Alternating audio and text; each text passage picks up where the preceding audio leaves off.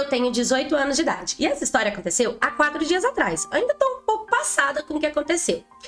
Eu saí de casa com 17 anos de idade, sempre fui muito independente, gostei de trabalhar, ter as minhas coisas. E eu namoro tem dois anos. Então, mesmo namorando, meu namorado sempre me apoiou, sabe? A gente sempre foi muito parceiro um do outro, a gente sempre foi muito amigo um do outro. E ele também divide uma casinha no lote que os pais deles deixaram para eles que é bem pequenininha. Inclusive, eles dividem o mesmo quarto. E esse meu cunhado, né, o irmão do meu namorado, também tem uma namorada. E eles namoram também já tem um tempo. Por conta da gente sempre se encontrar na casa dos meninos, da gente sair juntas, da gente estar tá perto, nós nos tornamos amigas. A gente começou a ficar próxima, começamos a trocar segredos, né? A gente sempre conversava com a outra no WhatsApp várias e várias vezes quando o meu cunhado e ela discutiam, brigavam, ela sempre desabafava comigo, eu sempre dei total suporte para ela e diversas vezes. Eu também já passei por um momento de desequilíbrio dentro do meu relacionamento e ela foi a minha base, o meu apoio. Com o tempo, nós começamos a criar uma, uma certa irmandade, sabe? Tipo, amigas mesmo. Porque era engraçado, a gente tinha os namorados que eram irmãos, eram totalmente diferentes e a gente era totalmente apaixonadas por eles. E era legal ir à casa deles e cuidar e deixar tudo bonitinho. Enfim, acontece que, como eu, eu disse, eu sempre fui muito independente e tal, eu e meu namorado começamos a entrar num assunto de casar. Ele virou para mim e me convidou para morar lá junto com eles. Só que daquele detalhe, ele divide o quarto com o irmão. Várias vezes o irmão dele também vai dormir na casa da namorada, igual meu namorado vinha dormir até minha casa. Mas ele me convidou para morar na casa dele por um período de tempo. Por quê? Porque o valor do aluguel que eu pagava na minha casa, mais internet, água, energia, né, gás, tudo que eu fazia para minha casa era o dinheiro que nós podíamos juntar, mais o dinheiro, porque a vida inteira eu sempre trabalhei, sempre é, estudei, sempre fui muito focada nas minhas coisas, seria pra gente construir a nossa casinha no fundo. Então ele decidiu conversar com o irmão dele, porque como o lote era um pouquinho grande e a casa era menor, a gente poderia fazer a nossa casinha atrás. Aí o irmão dele ficaria com a casa toda para ele, o quarto todo para ele, e nós teríamos o nosso. E beleza, né? A gente ia dar uma economizada, ia dar tudo certo. E por conta do dinheiro que eu tava economizando com aluguel, com tudo, é, a gente conseguiria juntar e, e, e construir a nossa casinha com um tempo mais rápido, né? Com um prazo mais curto. E foi isso. Eu me mudei para lá. E assim, sempre foi assim, eu sempre acordei muito cedo para trabalhar, meu cunhado muito cedo para trabalhar, minha cunhada também sempre trabalhou e o meu marido também. Como meu marido ele tinha uns horários mais aleatórios, muitas das vezes ele chegava mais cedo, chegava mais tarde, saía mais tarde, chegava, né, e às vezes ia mais cedo. Ele, um horário, ele tinha um horário meio diferente lá na empresa dele. Eu sempre chegava, meu cunhado chegava umas 7 horas. Eu sempre chegava umas 5, 6 horas da tarde, tomava meu banho e ficava quietinho esperando meu marido. Às vezes eu fazia meu namorado, né? Às vezes eu fazia a jantinha, já deixava tudo pronto, sempre deixei tudo muito, muito organizado. Acontece que com, se não me engano, foi uns uns três dias que eu estava morando lá junto com meu namorado, teve um dia que eu tava lá, tinha chegado de serviço, tinha tomado banho e tava lá. Aí a minha cunhada chegou. Não, pera, deixa eu lembrar. Minha cunhada chegou, foi nessa hora. É, é, isso mesmo, minha cunhada chegou e ficou lá comigo. Ela tava mais calada, tava mais na dela. Eu tava tentando conversar com ela, mas toda palavra que eu me dirigia até ela, ela meio que me cortava, tipo assim, ai, tá tudo bem? Bem. E aí, como é que foi? Ah, tranquilo. Tipo, me cortando, não me dando muito papo, não me falando nada, não me perguntando também se eu tô bem e tal, não me dando assunto. Eu senti que ela tava, não tava normal. Então, perguntei se, se tava tudo de boa mesmo. Ela disse que sim. Beleza, passou um pouquinho, ela falou, ah, vou lá pra casa. Falei, tá bom, vou esperar o meu namorado lá. Falei, ué, Tá bom, então. E ele, ele saía às sete, mas esse dia ele foi jogar bola. Então ele chegava às nove, mais ou menos. E aí ela foi pra casa dela. Eu virei pro lado e fui dormir para esperar meu namorado. Já tinha feito comida, tinha jantado, tava cansado. Deitei, cochilei um pouquinho. Quando deu umas nove, nove e pouquinho, chegou a minha cunhada junto com... A minha co-cunhada junto com meu cunhado, né? No caso. Eles chegaram juntos. Aí na hora ele foi pro banho. E ela ficou lá, sentada. E eu, mais uma vez, fui conversar com ela. Ela tava meio, sei lá, ela tava meio irritada, não sei. Eu fui falar com ela novamente e ela começou a me tratar mal. Não era nem me cortar, sabe? Não me dar muito assunto. Já era me dar patada mesmo. É, aham, sim. Tipo uma, um tom meio agressivo, sabe? Tipo, Dava pra sentir na respiração dela o, o ai, virando o olho. Parece que ela tava, sei lá, irritada mesmo. Eu falei nada. E, gente, eu tava deitada, tava mexendo no meu telefone. Ela do nada levantou e falou assim: vou embora. Pegou uma mochila dela e começou a pegar tudo que ficava dela lá. As coisas que ficavam normalmente dela na casa. Ela começou a pegar tudo e enfiar dentro da mochila dela. Me decidi ir embora. Na mesma hora que ela foi embora, meu cunhado saiu do banho. Ele viu que ela tava indo embora e ele foi atrás dela, né? E assim, não entendi nada. Na hora eu pensei assim: discutiram, brigaram. Não vou nem ficar questionando. Deixa a poeira baixar, depois eu converso com ela. Ela não deve estar muito bem, mas depois a gente conversa, né? Que ela sabe que, tipo, poxa, a gente sempre pode ser muito amiga. Eles foram. Eu mandei uma mensagem para ela, perguntando se tinha acontecido alguma coisa, se estava tudo bem, se ela queria conversar. Ela visualizou e não fez questão nem de responder. Falei, vixe, ela deve estar muito brava, porque até então nunca tinha sobrado para mim, né, a briga deles. Beleza. Dormi. Não, meu namorado chegou, ele comeu, tomamos banho e fomos dormir, até porque eu tinha que acordar cedo no outro dia. Acordei cedo, tava tomando meu bom café da manhã, chegou meu cunhado, que dormiu na casa da namorada dele. Certo, ele foi levar ela embora, né, e dormiu por lá. Ele sempre fazia isso, era normal. Ele me deu bom dia, eu dei bom dia de volta e já corri pro trabalho. Duas horas depois que eu estou lá no meu trabalho, eu recebo uma mensagem do meu namorado. Amor, depois que você saiu para trabalhar, meu irmão me chamou para conversar e disse que não dava para você continuar morando aqui, porque a namorada dele estava com ciúmes. Disse que você teve uns comportamentos inadequados na presença do meu irmão e que não estava gostando nada de você por ali. Na hora, fiquei passada. Falei, que postura inadequada. Nem vi. O último momento. O único momento que a gente se viu foi quando ele chegou e foi pro banho. Tipo.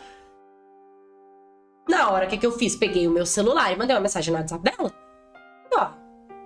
Meu namorado veio falar aqui comigo que você não gostou de alguma coisa que eu fiz. Gostaria de entender o que, que aconteceu.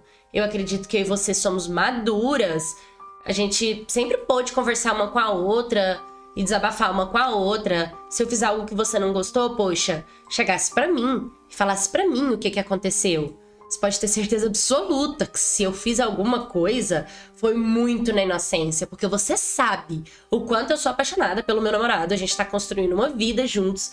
Tipo, a gente tava planejando, tendo planos. Jamais faria alguma coisa. Eu tenho total respeito pelo meu cunhado. Para mim, isso é uma falta de respeito. Ver esse olhar mal pro meu lado, pensar que eu seria capaz de fazer alguma coisa, sabe? E ela me colocou como se eu quisesse destruir a relação dos dois. Foi uma coisa muito chata, muito desconfortável, muito desagradável. Fiquei assim, muito magoada com ela, sabe? E falei que ela podia ter me falado, né, que a gente confiava na outra, que a gente era amiga, e que, tipo, a gente tava aqui para isso, para resolver os nossos conflitos. E sabe o que, que ela me respondeu? Ela teve coragem de falar assim para mim. O que eu tinha para resolver, eu já resolvi entre eu e o meu namorado. Se eu quisesse ter te falado alguma coisa, eu tinha te falado lá na hora que nós estávamos juntas. Eu não quero e não tenho mais nada para tratar esse, sobre esse assunto com você. Eu nem respondi mais, né? Porque eu vou responder o quê? Tipo, Dava para ver que ela tava na resistência dela, de que ela resolveu com o namorado, de que ela não tinha nada para falar comigo sobre aquele assunto. E eu fiquei muito chateada. Ainda estou chateada, porque eu não entendi Sabe, eu sempre tive muito consideração por ela, sempre tratei ela muito bem. Tem anos que a gente tá junta nessa caminhada. Eu não sei o que, que aconteceu, mas eu me senti muito mal de saber que eu tinha essa consideração por ela, que eu tinha esse cuidado, que eu tinha esse afeto, esse carinho, que ela podia contar comigo, que eu teria essa maturidade de resolver com ela. Jamais teria colocado o meu namorado e o namorado dela no meio dessa situação. Eu teria falado, pontuado que eu não tinha gostado, que foi as atitudes que ela tinha feito. Foi algo que ela deixou totalmente à mercê, sabe? Eu e meu namorado ainda estamos decidindo o que, que vai ser feito, porque querendo ou não, eu não sou um objeto para ser devolvida para algum lugar, né? né? Eu me desfiz da minha vida. Para eu refazer, é uma mudança de planos total, já é uma mudança de, de planos do futuro mesmo, porque era nossa casa, nossa vida, né? E infelizmente. Uh, a gente não sabe ainda o que, que vai ser feito, como que a gente vai lidar, mas nesse momento o, a escolha que eu fiz foi me afastar decidi me afastar, tanto do meu cunhado quanto dela, não, não olhar, não direcionar a palavra, sabe? Eu não sei como seria a convivência dentro de uma casa com esse climão que ficou agora. Mas eu tô muito, muito magoada ainda, confesso que eu preciso de conselho para entender, sabe, o que o que eu posso fazer para não deixar acontecer, sabe, de no meu relacionamento cair ou acontecer alguma coisa de ruim. Enfim, espero que dê tudo certo no final. O que vocês fariam? Me aconselhem? Então, gente, essa foi a história da cunhada, né? Eu trouxe essa história. É, quando eu li essa história, vou ser sincera, do meu ponto de vista, o que minha intuição me disse. Naquele momento em que a cunhada recebeu a notícia de que ela moraria na casa, eu acredito que ela deve ter sentido ciúmes. Não foi de uma atitude, de um comportamento inadequado na frente do namorado dela. Eu acredito que esse foi o pretexto que ela usou para poder não dar explicação do sentimento dela. Porque às vezes até ela sentiu essa confusão e não conseguia se expressar. Mas olhando por fora, o que eu consigo identificar é que ela sentiu que antes era a casa dos namorados e elas eram visitas. Elas tinham os mesmos direitos, as mesmas obrigações, as mesmas situações, elas estavam de igual para igual. A partir do momento em que uma vai morar ali parte dessa aqui, um ciúmes de tipo, opa, é uma outra mulher morando na casa, dormindo no mesmo quarto que o meu namorado. Então ela já cria um, uma, uma coisa doida na cabeça e alimenta isso, né? Ela já cria uma fanfic ali na cabeça e alimenta essa fanfic. E ainda tem o lado de que, tipo, ela tem mais direitos do que eu agora, ela vai mandar na casa, ela vai querer ser melhor do que eu, e pode ter partido essa insegurança de que a amizade delas mudaria com essa decisão, né? O que eu enxergo é que a cunhada que fez essa acusação, que parece caluniosa, né? Parece uma difamação, ela apenas estava enciumada por talvez perder esse, essa mesma igualdade dentro da casa dos namorados, né? E ciúmes dela tá ali, dela ser moradora na casa do namorado dela. E ela talvez não ter esse mesmo plano com o namorado, né? Eles não terem chegado a essa decisão como os cunhados chegaram. E aí é uma grande besteira, né? Porque era por prazo determinado e logo eles teriam a casinha deles e ela, se quisesse casar e morar ali também, ela também tomaria a decisão que ela quisesse e teria a casa totalmente para eles também, né? A casa seria dela e do namorado dela, porque logo no futuro a, o cunhado e a cocunhada sairiam. Mas infelizmente ela optou por ir por um outro caminho, né? É, dentro da mentalidade dela, ela deve saber que ela fez, na verdade, foi tentar destruir os planos de alguém hum, por conta dos teus, das suas próprias inseguranças. Aí, o que eu enxergo é que ela está insegura com essa situação, que ela não conseguiu controlar o emocional dela naquele momento e que se fato isso realmente fosse verdade, ela viria com exemplo do que, do que aconteceu. Olha, aquele momento em que eu entrei, você mudou sua atitude na frente do meu namorado. Você tava de um jeito, de repente, você tava. Você colocou um shortinho, pijama, muito curto, e aí ele você virou a perna pro lado dele, abriu a perna, deu pra ver tua calcinha, sabe? Tipo, um exemplo do que aconteceu e aquilo não gostei, eu acho que ninguém gostaria, né? Ou até mesmo elas terem esse diálogo que talvez elas não tiveram. Tipo, tá bom, você vai morar na casa do meu namorado agora, né? Eu, como namorada dele, vou te falar alguns pontos que eu hum, que eu me incomodaria e tal, e a gente pode acordar alguma coisa, né? Tipo, ó, já que você vai morar aqui, cuidado com isso e aquilo, tal, para deixar assim, conversado e alinhado, sabe? O sentimento, essa busca pela reciprocidade. Mas sabem de uma coisa? A maioria das pessoas não estão preparadas para ouvir sinceridade. A maioria das pessoas não estão preparadas para conversar e ter um diálogo aberto com a outra. Muitas pessoas não aguentam porque tem medo da reação. Por isso que eu falo, pessoas sinceras aguentam sinceridade. Eu sou uma pessoa que eu sou muito sincera. Se você quiser, seja o tanto que você quiser. Eu sei filtrar o que é o seu ponto de vista, o que é a sua opinião, do que de fato eu sou e o que me define. E se você falar algo que faz sentido para mim, eu sou capaz de pegar, analisar, tentar estudar se realmente faz sentido e te dar razão se você tiver certo. Então, tipo, não é para todo mundo. Isso sim é uma maturidade, né?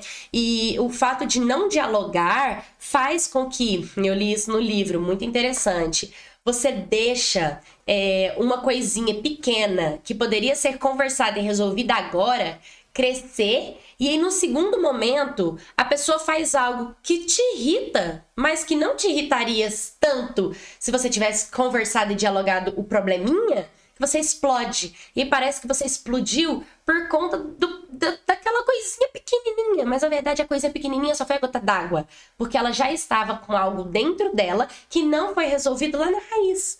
Lá atrás existe os motivos. E as pessoas vão acumulando, vão acumulando, sente dificuldade de falar, sente dificuldade de se expressar, sente dificuldade de organizar os sentimentos e principalmente de resolver os seus próprios conflitos internos, né?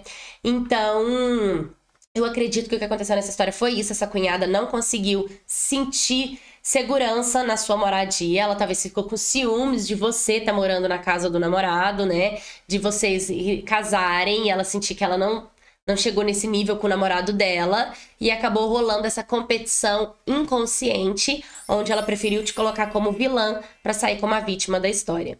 Mas não se deixa abalar. Eu acredito que se você e seu marido têm um propósito vocês têm que continuar no projeto de vocês, no sonho de vocês, vivendo de acordo com a realidade de vocês para alcançar o objetivo. Se vocês lutarem para um do outro, com certeza vocês vão chegar lá.